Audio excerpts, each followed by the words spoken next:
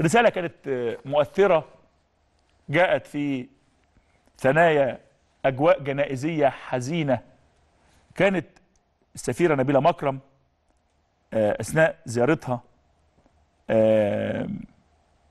إلى نيوزيلندا للاطمئنان على حالة بعض المصريين هناك وبعض المصريين اللي استشهدوا في الحادث الإرهابي المؤلم. زوجة لأحد الشهداء اسمه أحمد عبد الغني. هذه الزوجة اسمها شادية أمين. أرسلت رسالة مع نبيلة مكرم.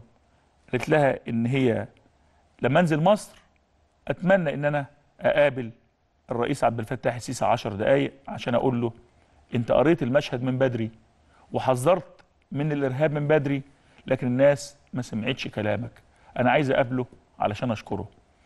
رسالة بسيطة من واحدة مكلومة مجروحة بفقدان زوجها وشريكها في الغربة بترسل هذه الرسالة لمن يعي ولمن يفهم كيف تكون بلادنا بلاد أمن وأمان وكيف لا نتاجر بقضايانا.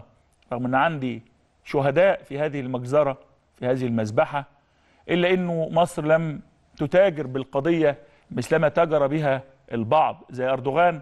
وأخذ يردد ويعيد ويزيد في بث هذه الفيديوهات لكي يحقق إنجازات انتخابية أو مكاسب انتخابية رخيصة. في كل الأحوال خالص التعازي لكل الشهداء في كل مكان خالص التعازي لكل بني البشر الذين جرحوا من فعلة إرهابية أو من فعلة جنونية هنا أو هناك.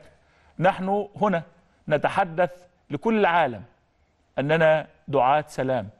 أننا دعاة سلام حقيقي لا مزايدات فيه ولا متاجرة به. وعلى الدوام إن شاء الله تكون مصر هي المعبر وهي الجسر اللي يعبر عليه الآخرون.